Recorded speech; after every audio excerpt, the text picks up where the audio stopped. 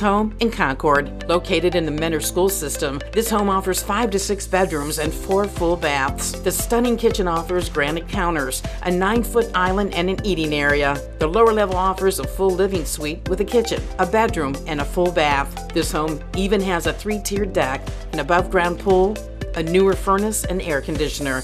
Contact Jenny Salvaggio for a private show.